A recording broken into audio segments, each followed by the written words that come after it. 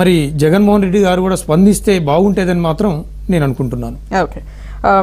జీవి రెడ్డి గారు ఇంతవరకు అంటే నరేంద్ర మోదీ మాట్లాడటం అంతా బాగానే ఉంది. అలాగే ఈరోజు ఐటీ రైడ్ జరుగుతున్నాయి వైఎస్ఆర్సీపీ నాయకుల మీద. గాలి మళ్ళింది అని అనుకోవడానికి ఈజ్ ఇట్ టూ ఎర్లీ ఎందుకంటే నేను ఎందుకు అడుగుతున్నానంటే టీడీపీ నేతల మీద చాలామంది మీద in fact TDP party office మీద సెంట్రల్ ఆఫీస్ మీద కూడా అటాక్స్ జరిగినప్పుడు ఎలాంటి రెస్పాన్స్ కనిపించలేదు. సడన్గా షర్మిల మీద మాత్రం ఇమీడియట్గా రియాక్ట్ అవ్వడము అన్నని నిలదీయడము ఇవన్నీ జరుగుతున్నాయి కదా. మీ మీరేమంటారు? గుడ్ ఈవినింగ్ అండి. ఎవరు నిలదీశారు అన్నని? ఎవరు నిలదీశారు అన్నని? Narendra Modi prime minister Narendra Modi.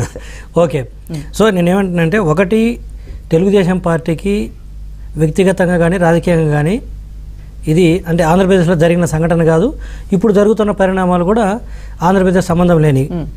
అయితే ఒకటి మాత్రం చెప్పగలను. ఇప్పుడు ప్రధానమంత్రి శ్రీ నరేంద్ర మోడీ గారు ఈరోజు ఒక మహిళలకు ఒక మహిళకు జరిగిందని చెప్పేసి రియాక్ట్ అయ్యారు. సో ఒకటి ఆ అంశంలో మేము కూడా ఏకీభవిస్తాం. ఏది ఒక మహిళను ఆ విధంగా రోడ్డు పైన అంటే కారులో కూర్చొని కారుని తీసుకుపోయి రోడ్డు మీద పెట్టి ట్రాఫిక్ జామ్ చేయడం అది ఎంత కరెక్ట్ అని చెప్పం కానీ నిరసనలు తెలియజేయడానికి వేరు వేరు విధానాలు ఉంటాయి. ఒకవేళ అయినప్పటికీ కూడా స్ట్రక్ అయితే డోర్ తీసేసి పగలగొట్టేసి తనను తీసుకెళ్ళొచ్చు. బట్ అలా లాక్కెళ్ళటం అనేది ఎవరు కూడా సమర్థించరు. బట్ కాకపోతే ఇక్కడ ఇది రాజకీయాల్లో రెగ్యులర్గా జరిగే తంతి ఇది. ఏం అలా జరిగిన విధానం కరెక్ట్ తప్పు అంటాం కానీ కానీ ఇలాంటి రాజకీయాల్లో నిరసనలు తెలియజేయటము పోలీసులు వచ్చి లిఫ్ట్ చేయటము మళ్ళీ తీసుకెళ్ళటము ఇది పెద్ద వింత కాదు కొత్త కాదు. కాకపోతే సాక్షాత్తు మన దేశ ప్రధానమంత్రి గారు దీని గురించి మన ముఖ్యమంత్రి గారి దగ్గర వాకప్ చేయటం ఏంటనేది ఒక డౌటు. రెండోది వచ్చేసరికి ఈరోజు శర్మిలా గారికి వారు శ్రీమతి శర్మిలా గారికి వాళ్ళు ఫోన్ చేసి ఈ అంశం మీద పరామర్శించారనేది మరి న్యూస్లో బయటకు వచ్చింది. మేబీ నేనేమనుకుంటున్నా అంటే వైసీపీ పార్టీ అంటే వైఎస్ఆర్ టీపీ షర్మిలా గారి పార్టీని ఏమన్నా మరి మర్జ్ చేయమని అడుగుతారేమో తెలియదు లేకపోతే పొత్తు పెట్టుకుంటారో తెలియదు అదంతా తెలియదు కానీ బట్ ఈ ఈ స్థాయిలో రియాక్ట్ అవ్వాల్సిన అవసరం అయితే నాకు తెలిసి అయితే ప్రధానమంత్రి గారికి అయితే అవసరం లేదు. ఎందుకంటే పెద్ద ప్రభావం చూపించే పార్టీ కూడా కాదు. ప్రస్తుతానికి ఈ రోజున వైఎస్ఆర్టీపీ పార్టీ ఆ స్థాయిలో దేశ స్థాయిలో కావచ్చు లేకపోతే తెలంగాణలో కావచ్చు ఎక్కడ కూడా ఇన్ఫ్లుయెన్స్లుగా పార్టీ లేకపోతే అంత ప్రభావం చూపించే పార్టీ అయితే కాదు.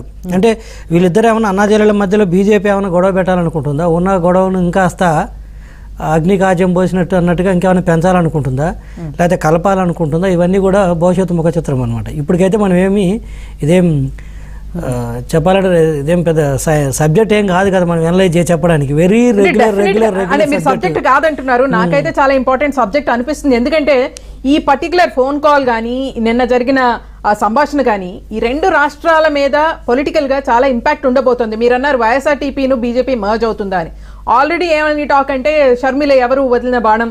లోటస్కి లోటస్ పాండ్కి ఉన్న సంబంధం చాలా క్లియర్ అయిపోయింది అని ఈరోజు కాల్తో అని చెప్పి చాలా నడుస్తున్నాయి సోషల్ మీడియాలో కానీ జనాల మధ్య కానీ చాలా డిబేట్ నడుస్తోంది. అలాగే లైక్ ఐ సైడ్ దీనికి చాలా long distance political relay implications ఉంటాయని నా- నా అంచనా. మీరేమో ఏం ఉండకపోవచ్చు అని మీరు గతంలో జరిగిన వాటి మీద ఇప్పుడు గతంలో చాలా వాళ్ళు వదిన బాణం వీళ్ళు వదిన బాణం అన్నారు కానీ అది కరెక్ట్ కాదు మనం. ఒక గాల్లో దీపం పెట్టి అంటాము ఒక స్త్రీని పట్టుకొని. బట్ ఇప్పుడు జరుగుతున్న ఈ రోజు వచ్చిన అంటే వచ్చింది ఏదో చిన్న చితక స్థాయి వ్యక్తి అనుకోండి మనం అంత తీసి పడేయలేం కానీ but unless there is a special interest లేకపోతే అంటే ఆ స్థాయి ఇష్యూ అయితే కాదంటాను ఒక దేశ ప్రధాని స్పందించే స్థాయి ఇష్యూ కాదంటాను ఎందుకంటే మా పార్టీ ఆఫీస్ మీద దాడి జరిగినంతకంటే ఇదేం దాంతో పోలితే ఈ విషయం చాలా అసలు పీనట్ పైన పొట్టు అంటారు కదా అలాంటి అంశం ఇది. దీన్ని తక్కువ చేయాలని ఉద్దేశం కాదు. అక్కడ మా టీడీపీ ఆఫీస్ మీద జరిగిన సంఘటనతో పోలితే ఇది తక్కువ అంటున్నాను. ఎందుకంటే ఇష్యూ వస్తున్నాను. ఇష్యూ ఏంటంటే ఒక పార్టీ ఆఫీస్ మీద దాడి జరగడం అంటే అది టీడీపీ పార్టీనా లేకపోతే ఎక్సా వైఏ పక్కన పెడితే ఒక పార్టీ ఆఫీస్ ఏది నలభై సంవత్సరాల నుంచి ఉన్న పార్టీ ఆఫీస్ మీద దాడి జరగడం అంటే అంత చిన్న అంశం కాదు. ఆ రోజు కనీసం రాష్ట్ర స్థాయిలో బీజేపీ లీడర్స్ కూడా ఏదో పై పైన స్పందించారు. ఏదో స్పందించాలి కాబట్టి అన్నట్టుగా. అలాంటిది ఈరోజు సాక్షాత్తు దేశ ప్రధాని గారు ఒకటి వాకప్ చేయటము రెండు ఈరోజు మాట్లాడటం అంటే గతంలో ఎవరు వదిన బాలనామా ఏంటనేది అది అనవసరం. కానీ ఇప్పటి మాత్రం ఇప్పటి నుంచి మాత్రం there is a highly chances అంటారు. మేబీ అడగటానికి. మెర్జ్ చేయమని అడుగుతారా? లేకపోతే ఏమన్నా పొత్తు పెట్టుకునేంత అవకాశం కూడా లేదు. ఎందుకంటే పొత్తు పెట్టుకోవాలంటే నాలుగు ఓట్లు సీట్లు ఏదో కొంత ప్రభావం చేసే స్థాయి ఉండాలి కదా. బట్ ఎలా అంటే మెర్జ్ చేయడం వల్ల మాత్రం ఎంతో కొంత బీజేపీకి మాత్రం షర్మిలా గారితో డెఫినెట్గా యాడ్ అవుతుంది. అంతవరకు అయితే కొంత రాజకీయ పరిజ్ఞానంతో చెప్పగలం. అంటే కానీ నేను అడిగేది ఏంటంటే దీనివల్ల ఆంధ్ర పాలిటిక్స్ మీద ఎలాంటి ఇంపాక్ట్ ఉండొచ్చు? జగన్ని నిలదీయడం అంటే? ఇప్పుడు షర్మిలా గారు జగన్ నిజంగా నిలదీయాలంటే వాళ్ళు ఈ ప్రశ్న మీరు అడిగింది చాలాసార్లు విలేకరులు కూడా వివిధ సందర్భాల్లో అడుగుతున్నారు. వారు ఎంతసేపు అడిగినా కూడా నాకు సంబంధం ఏంటి ఆంధ్రతోటి నాకు సంబంధం ఏందంటారు? అక్కడ కొంచెం అది ట్రిక్కీగా ఇప్పుడు నాకు సంబంధం ఏందంటే మొన్న రెండు వేల పంతొమ్మిదిలో వారే జనాలను అడిగారు ఏపీ ఓటర్స్ని ఒక ఛాన్స్ ఇవ్వండి మాకు మేము. మంచి పరిపాలన చేస్తాము. మాకంటే ఇన్ ద సెన్స్ వాళ్ళ కుటుంబానికి అడిగారు. ఈరోజు మీకేదో వ్యక్తిగతం గొడవలు వచ్చినాయో రాలేదో మాకైతే తెలియదు. అది మేము వ్యక్తిగతంగా అంశాల్లోకి వెళ్ళలేం కానీ బట్ మీరు ఈరోజు పక్క రాష్ట్రానికి వచ్చి పార్టీ పెట్టుకున్నా మీ మీద బాధ్యత ఉంది. ఇప్పుడు ఎలా అయితే ఇక్కడ శ్రీ కేసీఆర్ గారిని మీరు ఎలా అయితే నిలదీస్తున్నారో వివిధ అంశాల మీద అక్కడ కూడా మీకు బాధ్యత ఉంది. మీకు పార్టీ ఓటు ఉంటేనే మీకు ఓట్లు వేస్తేనే అడుగుతాము లేకపోతే లేదంటానికి లేదు. ఈరోజు మాకుంది మేము ఇప్పుడు దేశ రాజకీయాల గురించి మీరు మనం ఇప్పుడు మోడీ గారు ఎందుకంటే మాట్లాడతాం కొన్ని సందర్భాలు వచ్చినప్పుడు. అలా కూడా ఇప్పుడు ఎస్పెషల్లీ శ్రీమతి శర్మిల గారి గురించి చెప్పాలంటే వారు నేను ఓటు అడిగారు పంతొమ్మిదిలో ఇంతలోకి ఎలా ఎస్కేప్ అవుతారంటాను. అది మిలియన్ డాలర్ క్వశ్చన్.